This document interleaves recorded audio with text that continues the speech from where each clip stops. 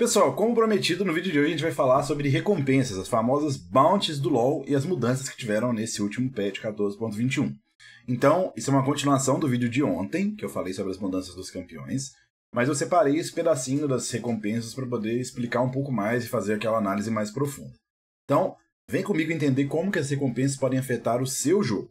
Bora lá. Pessoal, antes de falar das mudanças do patch, eu queria falar um pouquinho sobre as recompensas em geral. Então, atualmente no League of Legends, antes desse patch, tá? A gente tinha três maneiras de você receber recompensas. Então eu vou usar o termo recompensa que é em português, mas ele chama aqui de bounties. A recompensa, ela existe única e exclusivamente para regular a quantidade de ouro no jogo. A gente tem dois recursos no jogo que são ultra importantes para determinar o que a gente chama de efeito bola de neve ou snowball: o gold e a experiência. Então, a experiência é válida, muito válida no começo do jogo, e conforme mais tempo de jogo passa, a experiência vai caindo em valor, né? E o gold vai sendo mais importante. Então, nos primeiros níveis, óbvio, você ter experiência é muito bom, mas no final do jogo, por exemplo, o suporte já não valoriza tanto a experiência, valoriza muito mais o gold que ele tem. Então, tem três formas do jogo segurar o gold da partida para que fique jogável o jogo. Ele tem o que a gente chama de recompensas de campeão, ou recompensas de kill, né? Ele tem recompensas de gold e ele tem recompensas de objetivo. Legal que o Lowik não atualizou ainda, então a gente não é, ainda vai a gente ainda vai ter aqui, né, coisas fáceis para poder mostrar. Então existem três maneiras no jogo, três recompensas no jogo que você vai poder ativar para ganhar mais ou menos gold numa kill. Uma kill zerada, ela vale 300 de gold e 150 no assist. Então isso aqui é o base. Mas vamos começar falando das, do mais óbvio, que são as recompensas de kill. Você já jogou LOL, provavelmente está me ouvindo aqui no canal. Você já ouviu a palavra neutralizado. O que significa a palavra neutralizado? Que alguém, né? Ele tava com uma bounty positiva, que a gente chama de recompensa positiva. Porque um certo campeão do jogo matou muita gente seguida, né? Ele conseguiu ter muitas é, mortes consecutivas, ou seja, matou muita gente seguida, abateu muita gente consecutivamente. E por isso o jogo entende que essa pessoa vale mais gold. Porque ela está arrasando na partida. O que acontece se você não tivesse esse efeito? Imagina se quando você matasse alguém que estava muito forte, ele desse 300 de ouro. Você nunca ia voltar no jogo. Por isso que existe a Bounty, a recompensa de campeão de kill, né? Que ela ajuda você a ganhar mais gold, ou assistência igual, quando alguém está muito forte na partida. E a mesma coisa se alguém está muito fraco na partida, que era denotado por mortes consecutivas, não abates. Então uma pessoa que morreu duas vezes, ela vai valer seguidas, vai valer menos gold. E menos assist também, porque o assist muda nesse caso. Até menos 5, que ela vale aí o menor gold do jogo. Óbvio que é, existem mais coisas aqui, por exemplo, First Blood existe também e tal, mas a moral da história. Essa era uma recompensa que era usada para usava o valor de vezes que você abatia consecutivamente ou morria consecutivamente para indicar se você valia mais ou menos gold. Tanto para você devolver gold se você estivesse muito na frente e regular o jogo, ou para você dar menos gold se você estivesse fidando e o jogo continuar jogável. Belezinha? Além disso, a gente tinha uma outra mecânica de bounty, que é a bounty recompensa de valor de gold. Essa é mais recente, tá? E o que, ela fazia? Ela olhava o seu gold durante a sua morte, e se um campeão tiver ganhado 300 de ouro a mais do que a média do time inimigo durante essa morte, a bounty dele aumenta por 50, mais 50 para cada 200 de gold contínuo, né? Ou seja, ele tenta também calcular que vamos supor que um cara tá farmando muito, levando muita torre, tá farmando muito, muito mais todo mundo. Esse cara tem que ter uma recompensa maior nele, por mais que ele não tenha matado ninguém.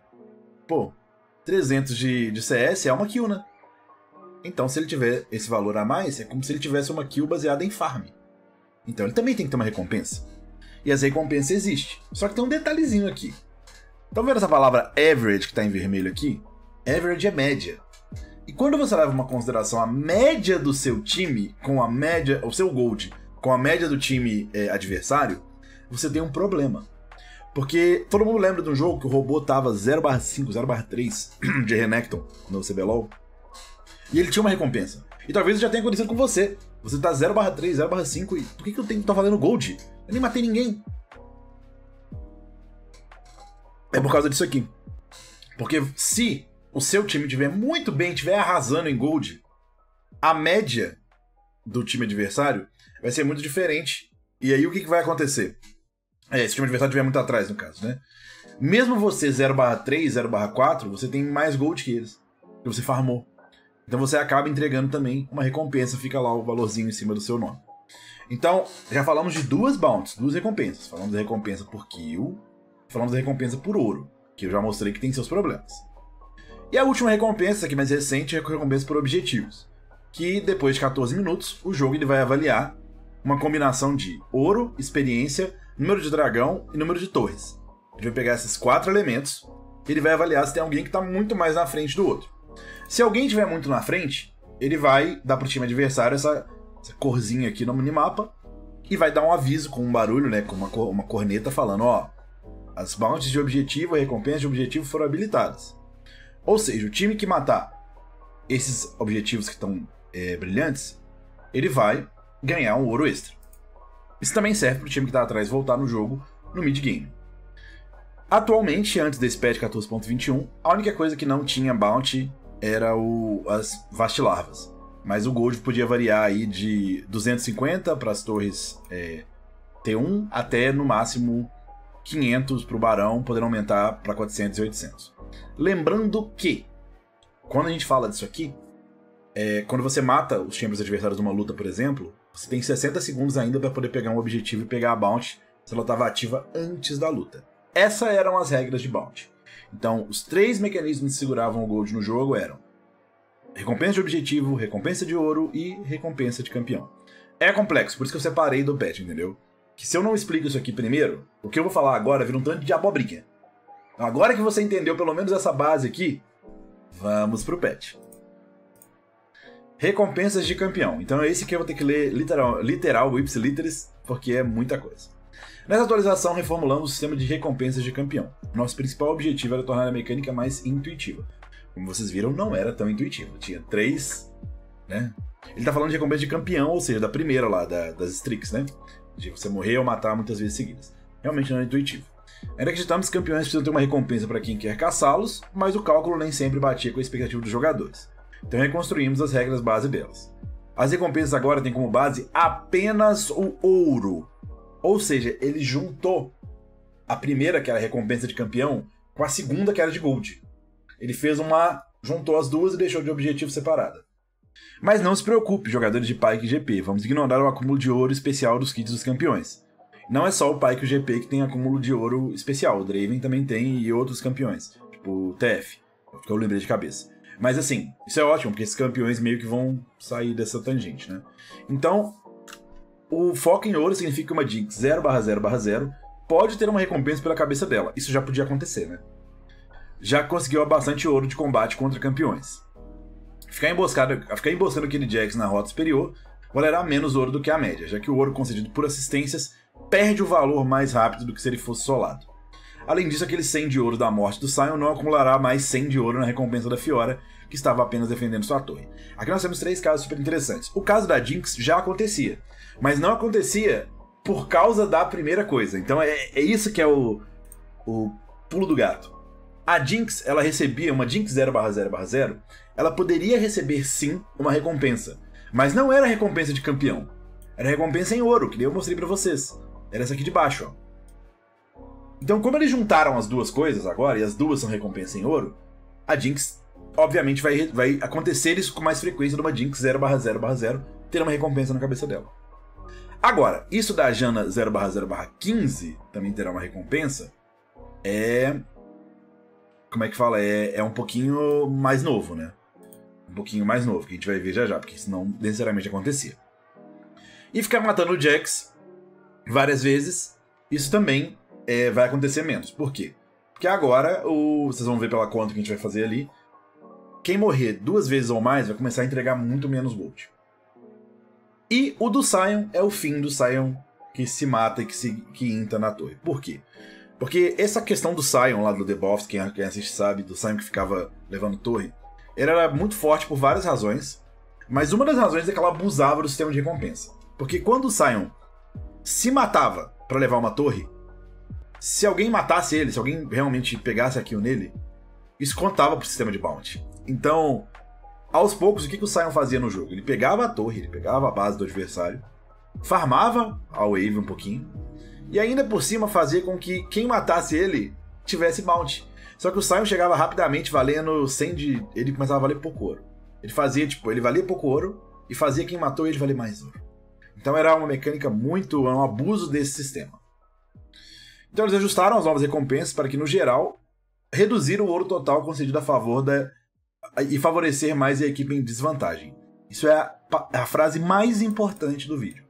Ajustamos essa recompensa de campeão para que, no geral, reduzam o ouro concedido e favoreça mais a equipe em desvantagem. Ou seja, o que a Riot está querendo dizer aqui é que ela está novamente brecando o jogo. Obviamente que essas mecânicas elas vão colocar mais um freio no snowball da partida. Como abates individuais e assistências não desfarão recompensas negativas tão rapidamente, as equipes que estão perdendo considerarão menos ouro em lutas. Então, se arriscar trará menos desvantagens e as partidas terão um efeito bola de neve mais lento, como eu acabei de falar. Apesar de termos realizado testes internos de nova recompensa, ficaremos de olho nos feedbacks e reagiremos caso alguma parte desse sistema não esteja bem ajustada. Então, obviamente, o que eu vou ler aqui, eu vou interpretar o que eles vão fazer aqui embaixo. Mas a, toda vez que a Riot teve esses, essas questões de recompensa, eles sempre ajustaram bem rápido, realmente. A outra vez eles ajustaram bem rápido com hotfix, patch. Então o objetivo deles é que o jogo fique menos snowballado. A gente vê que a Riot está atuando várias vezes para fazer o jogo ficar mais lento, o que eu não acho errado. Eu acho, na verdade, justo. Eu prefiro que o jogo ele tenha uma chance de chegar no late game. Tem muitas, teve uma época aí que as partidas duravam 18, 17 minutos em média. Eu acho que é legal chegar no mid late game. Enfim. Então vamos aos efeitos práticos do que eles vão fazer. As recompensas de campeão agora terão como base o ouro obtido e perdido, em vez de sequência de abate, morte relativa de farm. Então, não existe mais essa relação entre é, streak e o gold. Ainda vai existir streak, acredito eu. Eu não sei como é que vai ser isso no jogo. Mas não existe mais essa relação entre quanto mais você matou, mais gold você entrega. Não, não com o número, mas sim com o gold que você tem, que é o que vocês vão entender. Aí, ouro de fontes específicas para campeão, adoração do Draven, dados viciados do TF, nunca contribuirão para as recompensas de campeão, que é muito justo. Isso é um buff indireto para esses campeões, tá? Principalmente pro Draven e pro TF, que são os que. É, tá todos, na real. Draven, TF e Pyke mais porque eles são os mais de Snowball. Agora a mecânica é acumulada de forma granular, ou seja, pouco a pouco, né? Por exemplo, agora é possível ter uma recompensa de mais um de ouro. As recompensas não serão exibidas no placar até que elas acumulem pelo menos 150 de ouro, sendo atualizadas a cada 50 de ouro. Então, é, você só vai bater a primeira com 150 e depois vai de 50 em 50 aumentando.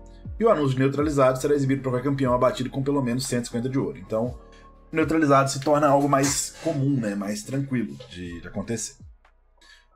Resumindo, agora, o que mede se você vai entregar mais ou menos ouro para o adversário é o quanto de ouro você ganhou e perdeu. E não sequência de abate. Então ele vai dar dois exemplos de sequência positiva e negativa.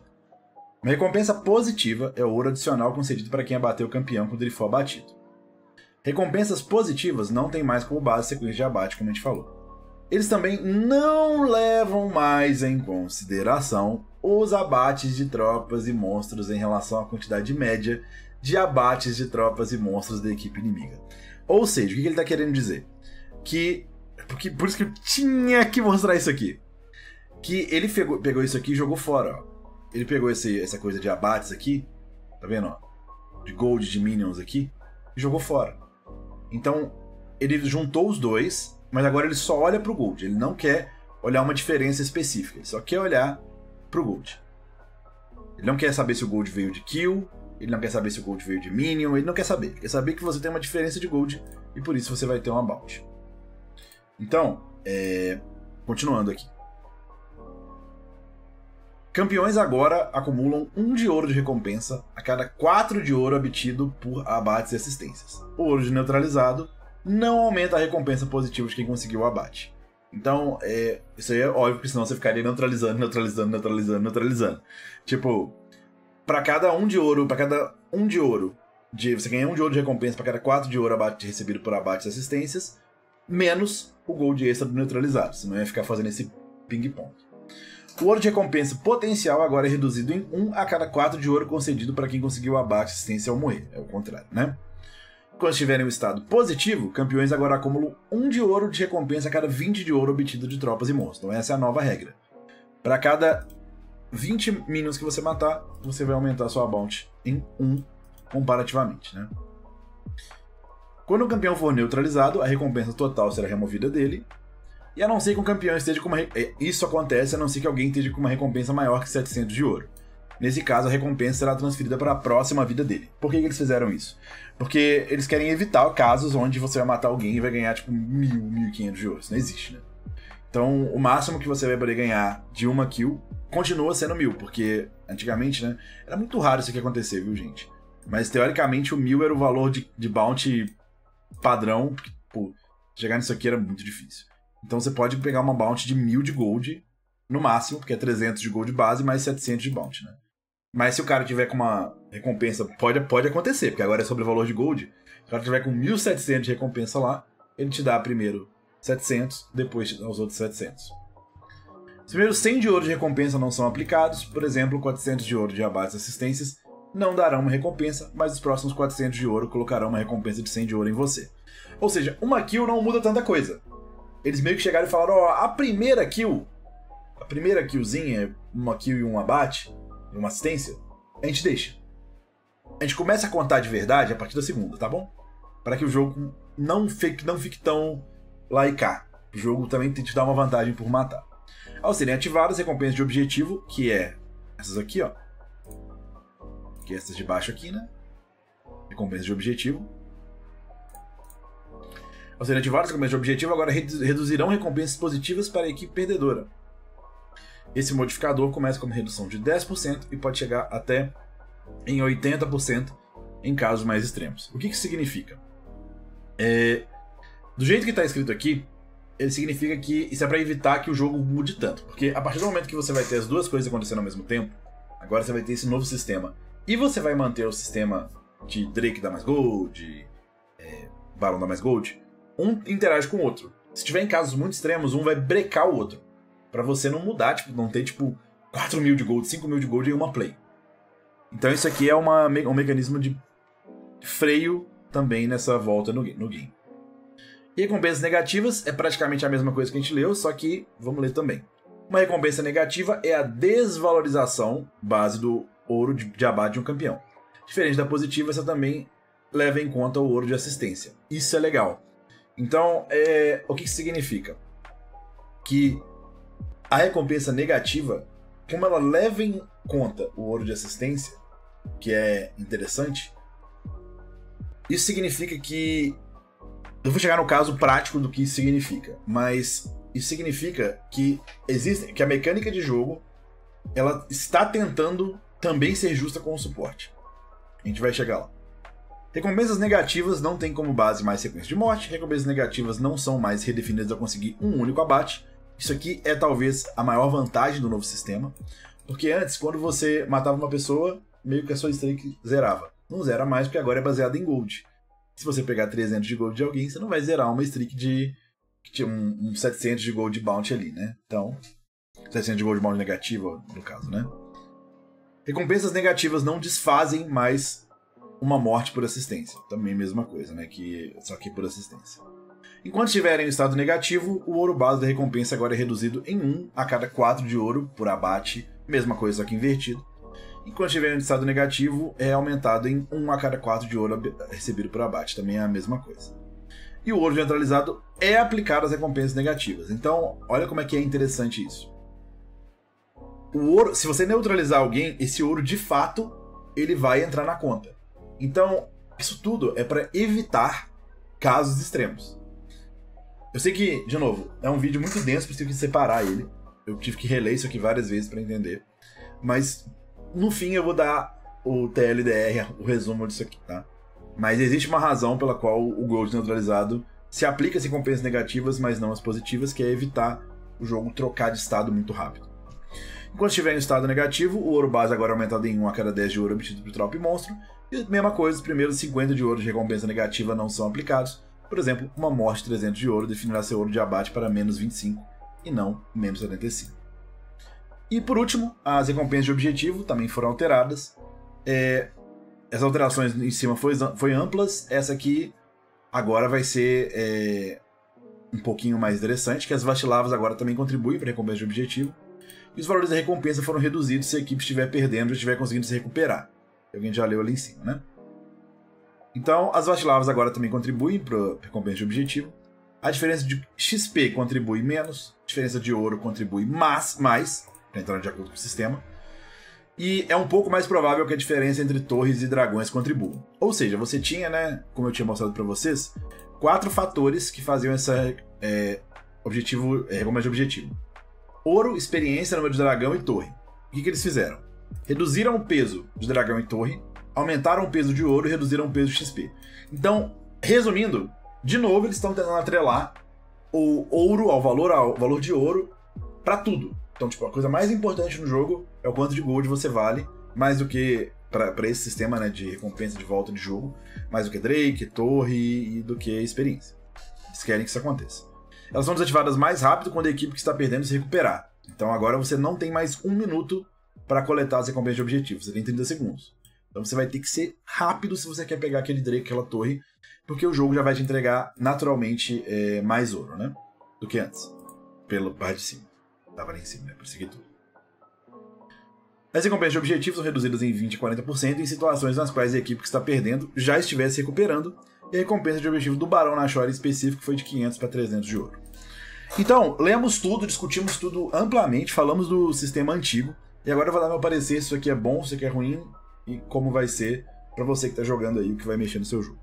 Seguinte, rapaziada, as recompensas antigas, elas tinham seu valor, porque elas seguravam o snowball do jogo. Então, querendo ou não, isso aqui foi útil por muito tempo no LoL. E segurou o gold da galera. Mas existiam óbvios casos onde isso aqui não era legal. E eu não tô falando só do Sion se jogando lá nas torres, não. Eu tô falando em situações que, assim, é, isso aqui promovia menos o jogo em equipe, porque, querendo ou não, quando você começa a atrelar as coisas a Gold e não a Strix, você teoricamente está beneficiando a eficiência de Gold. E a eficiência de Gold é o que é mais racional pro LoL. Porque vários casos, por mais que a Red tentasse, né, eles acabavam saindo fora do radar. A questão dos Drakes eu acho que é talvez a mais é, interessante, né? Que o dragão ele poderia não valer nada para uma equipe. Por exemplo, uma equipe que tem uma comp de Ultra Early Game, Blaze, Elise, Draven, é, Ari, uma comp full early game. Ela pega três Drakes, às vezes isso não necessariamente significa muito para ela, por mais que contasse no placar de recompensa de objetivo. E sobre Gold, às vezes, né? Vamos supor que a pessoa tava 0-2, ela pegou uma assistência, depois ela morre mais seis vezes. Tipo, ela resetou a bounty dela.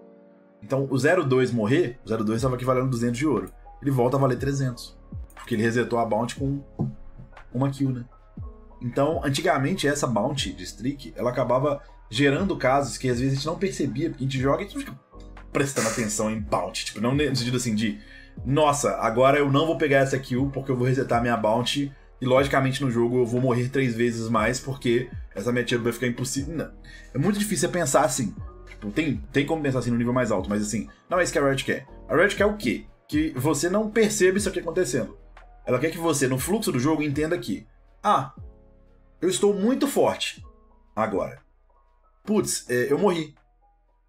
Esse é o gold. O gold que eu entreguei quando eu morri foi justo pelo sistema. Estou muito fraco. Peguei gold. É justo eu começar a valer tanto gold? Ou é melhor eu continuar valendo um gold menor para ir aos poucos voltando no jogo? Nossa, eu campei o cara cinco vezes, batei ele cinco vezes e eu fiz meu jogo, acabei o jogo com isso. Isso foi justo? Então, fica mais difícil, por exemplo, pro jungler, que você, pela matemática que foi feita aqui, não tem uma tabelinha, mas é uma matemática óbvia. Você matar o cara até três vezes é ok. A partir da quarta vez já começa a perder muito tempo. Muito tempo porque o jungler pode ser eficiente fazendo campo, fazendo outra coisa. Então lá pra segunda, terceira vez já não é legal pro jungler continuar rodando. Quem se beneficiou muito com isso aqui foram os suportes. Porque, como o suporte não farma, o que vai acontecer é que ele vai começar a entregar gold negativo muito rápido no mid-game. A não ser que ele pegue, óbvio, muitas assistências ou kills, né? Mas geralmente o suporte ele vai ter uma condição ok de assistência ou kill, mas ele não vai farmar. Então chega um ponto do jogo, no mid-game, late game, que o suporte tá valendo menos gold. O que na realidade é bom. para quem? Pro suporte tanque. Porque o que o suporte tanque mais quer é se jogar na fight e morrer. É isso que ele quer fazer, mais do que tudo. Então, o que, que isso acaba fazendo acontecer? Isso beneficia tanto suportes mais do que jungles, mas principalmente suportes mais tanque no, no jogo. Muito mais do que suporte encantador, mas também ajuda os encantadores até certo ponto, mais menos. E faz com que o jogo, obviamente, dure mais tempo. E se ele dura mais tempo, campeões que conseguem escalar melhor vão se dar bem com isso aqui. Desde que, óbvio, né, eles saibam se cuidar. No fim do dia, eu acho que esse sistema de recompensa vai ser muito superior ao, ao antigo, tá? Acho que ainda vão rolar ajustes, acho que ainda tem coisa para melhorar sim, mas conseguimos sair de vários casos ruins e infelizmente o Sion aí que se matava e deixava a Lady do seu time, ele ficou muito mais fraco. Já tava ficando fraco faz uns pets, mas acabou tomando aí de. É, como se fosse de, de, de revesgueio, acabou pegando no Sion. Mas é isso, essas foram as recompensas. Dúvidas, comentários, sugestões. É um tema denso, eu tentei explicar da melhor forma possível, por isso separei do pet. Logo abaixo, deixe seu follow, segue o canal, ativa o sininho, porque eu vi lá que tem pouca, pouquíssima gente que ativou o sininho recentemente, que deu, seguiu o canal. Não adianta nada eu ficar falando sobre LoL infinitamente se não tiver quem ouça. Então vocês é que fazem o canal funcionar, vocês é que trazem o sucesso do canal através do seu follow. Muito obrigado a todo mundo, espero que vocês tenham gostado. Um beijo, um abraço e tchau, tchau.